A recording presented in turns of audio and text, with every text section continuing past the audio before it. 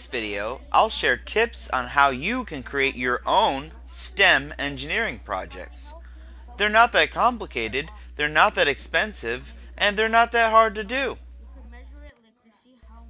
The next generation science standards clearly lay out all of the steps in the engineering process. Authentic STEM engineering projects allow students to navigate, know, and understand these steps.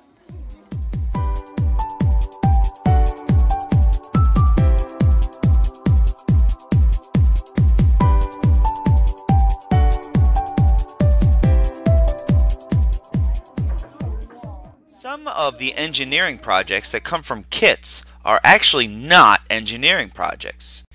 If a project asks students to follow a series of directions and steps, step by step, direction by direction, as it's laid out, and all the end products look the same, that is not an engineering project. True engineering projects give students a guide to the engineering process, but the students decide how to use the materials and which designs to design. Therefore, at the end, all of the products look different. And of course they should, because they were designed by different engineers.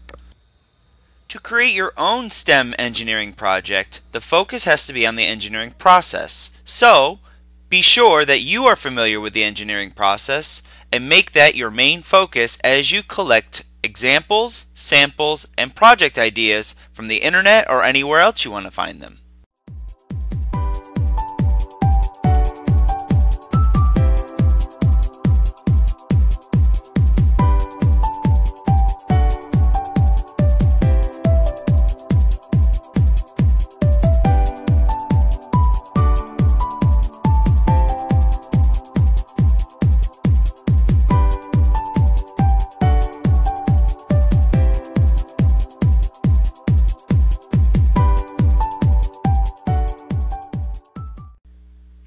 After you become familiar with the engineering steps as laid out in the NGSS, then it's time to collect the materials and think about ideas.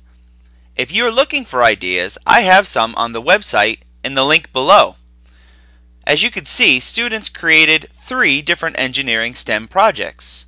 The first was this marshmallow catapult project.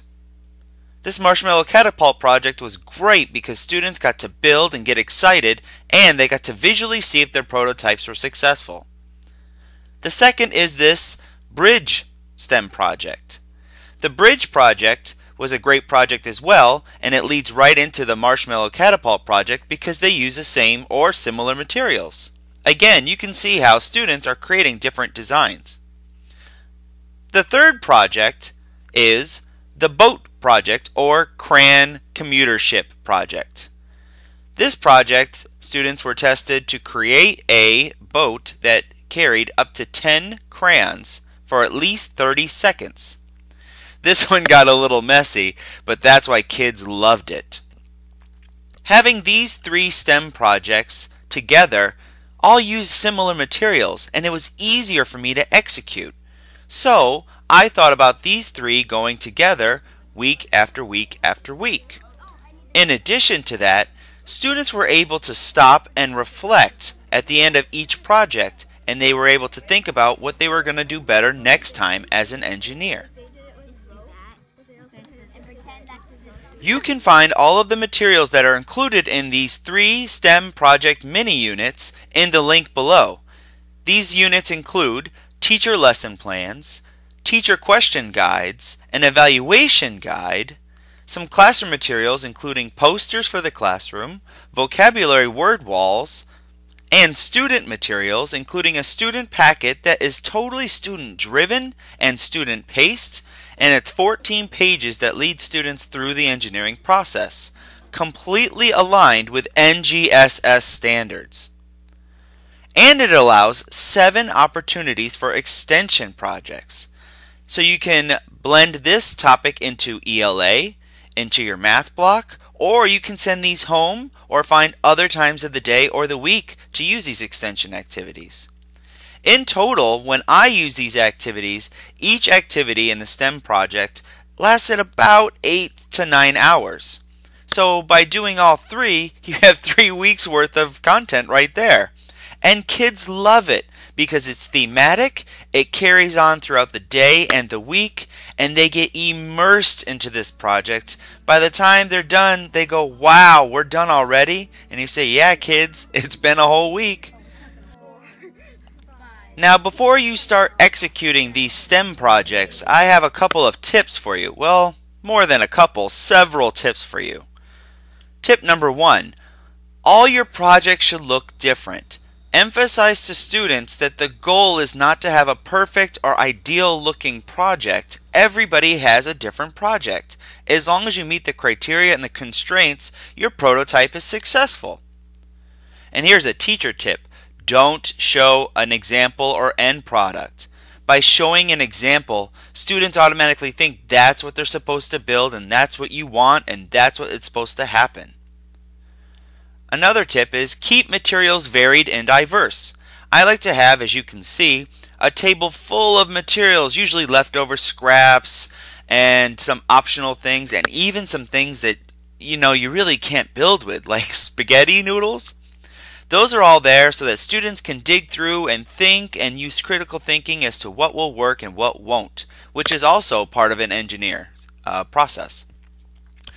Remind students that the focus is on the process, speaking of process. A lot of times students will get very focused on the end result and they want to rush and they want to be the best and they want their marshmallow to fly the farthest or their boat to float the most or, or uh, you know, they just want to focus on being done but please let them know that you're focusing on them using the process. Use the guide and the questions included in the packets in the link below to help guide students through the process. Another thing that you might want to consider is provide about an hour of class reflection time after the projects are finished.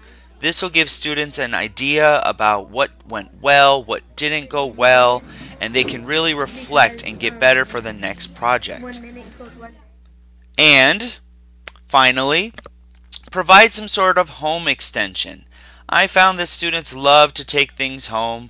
They love to do the projects by themselves at home or with families, and this is where your family engagement can really kick it up a notch by providing some materials or some lesson plans or even your leftover scrap materials, invite the kids to take them home.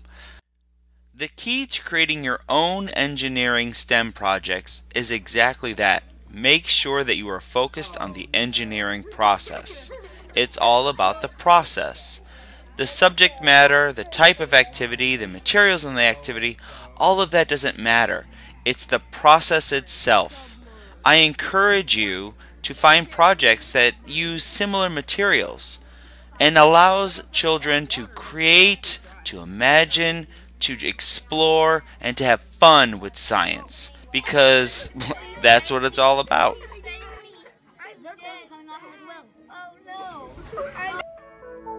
If you like this student engagement idea, be sure to check out all the other ideas, resources, and strategies on my website below. Be sure to subscribe to this channel and follow me on Twitter at TeachHeath.